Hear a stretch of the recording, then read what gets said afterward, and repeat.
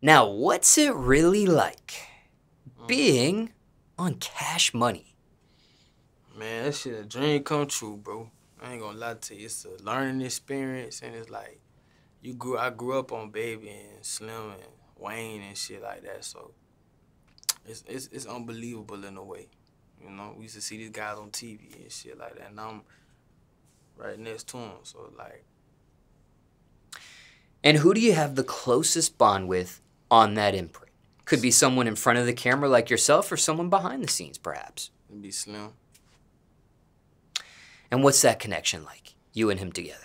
like uncle and nephew type shit. He a real one, solid, stand up man. You know, um, God bless man. You know what I'm saying? Him and Bird man. You feel me? But I got a, a like a, a more deeper bond with Slim. But me and Bird, we straight on. We good. And did you have a bond with Slim prior to signing to Cash Money? Um, no, I actually did. Now, hypothetically speaking, Mm. if you were stranded on an island Mm. with one person from Cash Money Records, Mm. who would it be and why? It could be old cat man. Could yes, it could. It'd be Nicki Minaj. And why her? Cause if I'm gonna be stranded with one other person on the island, it's gonna be have to be a female. You feel me? And and Nicki, I ain't even gotta explain why Nicki. You feel me? Now, when it comes to Slim, just rewinding to that, what's he really like? Um, real, real, real quiet. You can tell he a family man. He real, real boss, boss minded type of guy. Real mastermind, like very observant type of dude. And really, the, the real playmaker. You know what I'm saying behind the scenes and shit. Him and Stunner both, but Slim particularly is very much calculated. You feel me? Yeah, yeah. What's he like in the studio with you? Man, he be he be fucking with me. He be like, keep going, blow that shit hard. That shit hard. He be vibing. You know what I'm saying? Number positive energy. Is it ever intimidating when he's in the studio? Hell yeah, that slim, man. Man, about seven foot tall. Barely crack a smile with your eye. But nah, Slim, Slim good people, man. He real loving dude, real charismatic. But um, yeah, he pretty serious, you feel me? Yeah.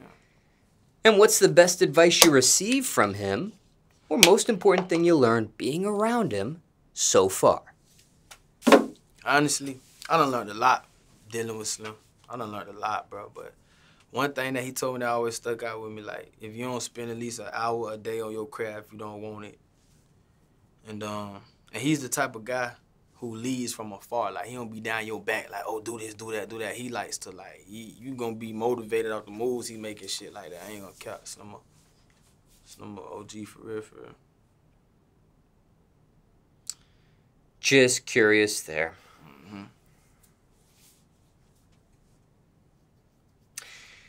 And out of all his characteristics, what do you enjoy the most about him? He real family oriented. You know what I'm saying? Real, real, real cool cat, man. You know, he he dope. He dope peoples, man. Like, boss, like I love that boss mentality. Like, you feel me, bro? Got like a real business mind. Like he business savvy. You know what I'm saying? That shit, that shit, shit motivational.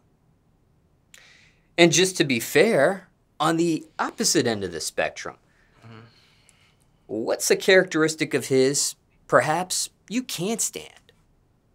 Nah, with Slim, ain't nothing I can't stand.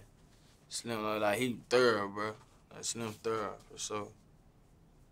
Same with Stunner, ain't none of like they they both solid niggas. You feel me? Ain't nothing, ain't nothing I can't stand about them. Like,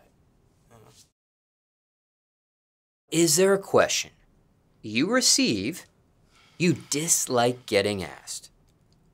Something you can't stand to answer, perhaps. Maybe it's a repetitive question, something you receive all the time. Could be from fans or strangers asking you this. mm, mm, shit, I don't like like that. People ask me that, that that's annoying type shit. Yes. Um, they be asking me crazy shit. They feel like I'm signed to cash money. I'm supposed to be like this mega superstar and shit like that. Blah, oh, why you ain't this or why you ain't that? I'm like, bruh, just fall back, bro. Watch the process. You feel me? Like that's one of them. It's a, it's a few different things. I got a lot of pet peeves and shit, but